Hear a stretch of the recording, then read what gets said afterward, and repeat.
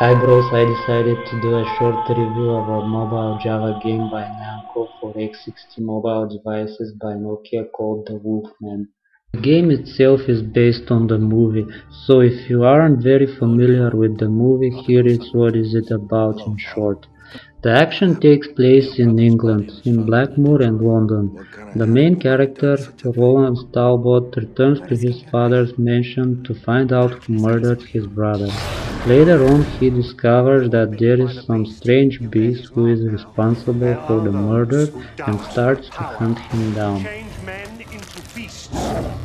The game manages to capture the dark and scary atmosphere of the movie. Most of the action takes place either at night or in dark rooms. There are also some scenes taken from the movie like the scene with the rocks near the gypsy village where Lawrence gets bitten by the werewolf and the scene in Lambeth Madhouse where he turns into a werewolf and kills Dr. Honeygatt. All the characters from the movie are in the game also. Lawrence's father, Miss Conley, Francis Aberline, and even the gypsy Maleva.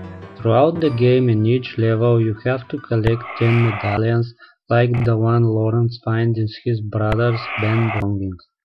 There are various enemies that you will have to fight in the game. Bats, dogs, Scotland Yard policemen, and Francis's mercenary.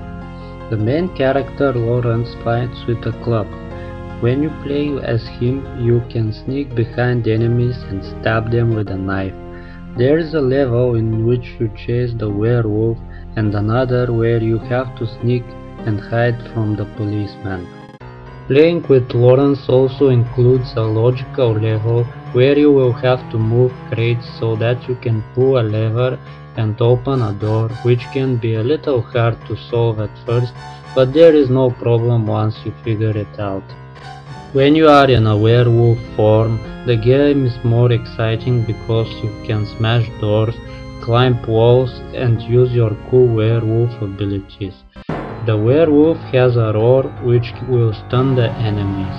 The roar is a very good combination with the blood-sucking ability which restores your health. There are two main bosses in the game, one in Lambeth Asylum and the other is the other werewolf. Use your roar and blood-sucking abilities to them.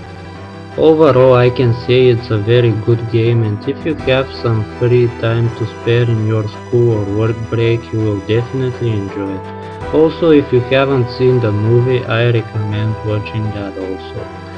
I hope I managed to explain a bit of what the game is about so you can buy it if you like it.